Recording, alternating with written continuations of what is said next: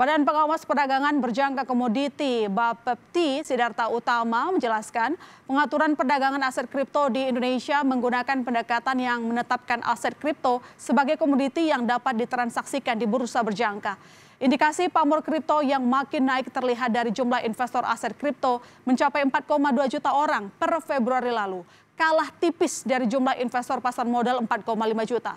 Sementara ada 229 cryptocurrency yang diakui di Indonesia dari ribuan jenis kripto global.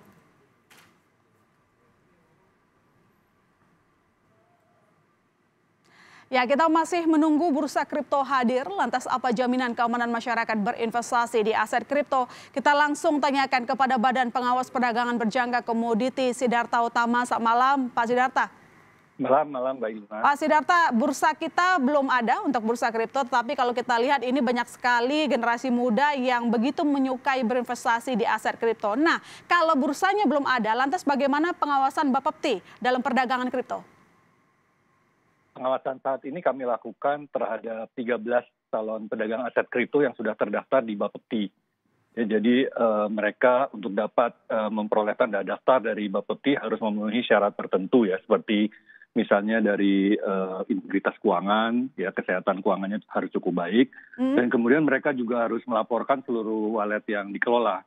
Ya, hmm. demikian juga uh, mereka harus melakukan proses penerimaan pelanggan bagi calon pedagang aset kripto, serta menyampaikan laporan transaksi harian, bulanan, kemudian juga laporan keuangan hari, harian, bulanan, dan tahunan uh, ya sehingga kami bisa memonitor bagaimana mereka melakukan uh, perdagangan di sini hmm. terhadap mereka. Artinya pengawasan yang ada sekarang bisa menjauhkan kita dari peristiwa misalnya di Turki itu bos Cryptotodex melarikan diri uh, dan membawa kabur uang dari para investor. Ya saat ini memang uh, pengawasannya belum optimal ya dalam arti hmm. yang kami harapkan nanti baru semester kedua uh, akan uh, berlaku penuh regulasi uh, dari Bapepti di mana pengawas uh, pelaksanaan perdagangan aset kripto ini tidak uh, 100% uh, dilaksanakan oleh pedagang ya. Jadi hmm. perdagangannya memang masih dilakukan oleh pedagang namun ada lembaga lainnya yang juga melakukan check and balance melakukan pengawasan ya seperti uh, keberadaan bursa, mm-hmm. kemudian juga adanya lembaga clearing dan juga ada tempat penyimpanan bagi aset kripto. Mm. Nah, jika memang uh, regulasi tersebut sudah uh, mulai berlaku, memang risikonya akan jauh lebih berkurang dibandingkan dengan yang saat ini, di mana okay. memang uh, kalau saat ini kan semua dana dan juga semua aset kripto ini masih disimpan di pedagangnya kan. Mm-hmm. Nanti kalau sudah berlaku uh, regulasi Bapepti yang penuh, itu ada sebagian dana ini harus disimpan di lembaga clearing, demikian juga uh, untuk aset kriptonya sebagian ada yang disimpan di tempat penyimpan. Oke, kalau memang pengawasannya ini belum maksimal seperti tadi Pak Sidarta katakan, kita tahu aset kripto ini naik turun kayak roket ya. Kalau lagi naik ya kencang banget, turun juga demikian. Yang tidak punya strategi pump and dump yang tepat, bisa-bisa boncos bahkan sport jantung. Nah, edukasi apa yang bisa diberikan kepada masyarakat, uh, terutama investor baru yang koleksi aset kripto?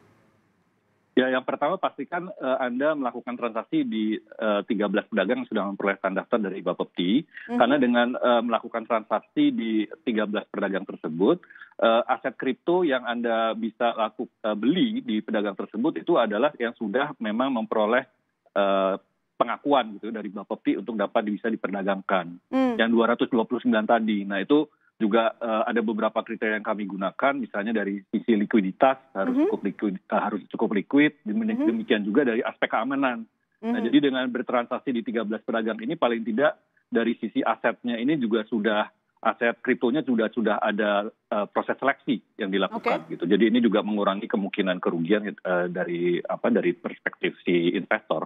Oke, sembari kita menunggu bursa sekali lagi Pak Sidarta, kira-kira edukasi mungkin yang akan diberikan kepada investor sudah disiapkan. Karena kalau kita lihat sekarang banyak sekali fenomena kripto itu tidak punya proyek yang jelas, tapi harganya naik tinggi.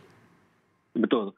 Nah itulah makanya di sini uh, sama seperti halnya dengan uh, investasi di saham.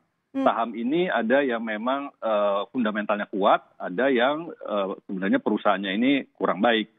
Nah, jadi pada saat memilih mau membeli aset kripto yang mana, ya kita juga harus kenali aset kripto tersebut. Ya, hmm. Karena sebenarnya harga dari aset kripto ini berubah juga karena faktor-faktor fundamental seperti kita lihat contohnya pada uh, pada Bitcoin ya. Bitcoin ini harganya naik karena memang permintaannya tinggi karena misalnya ya. tadi Tesla menyatakan akan uh, boleh menggunakan uh, Bitcoin untuk transaksi. Untuk beli Tesla, kan, ya.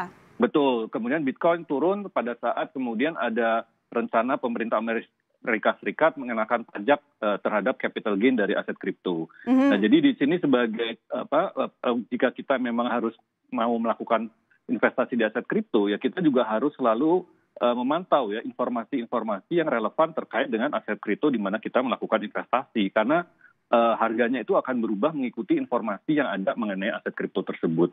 Baik. Itu yang pertama, betul. Hmm. Yang kedua adalah uh, pastikan uh, hanya Anda hanya menggunakan dana yang lebih saja ya. Mm-hmm. Jadi jangan menggunakan dana yang akan digunakan untuk bayar uang kuliah atau keperluan sehari-hari untuk melakukan investasi di aset kripto. Mm-hmm. Dan yang ketiga uh, diversifikasi, jangan uh, tempatkan semua dana Anda di aset kripto.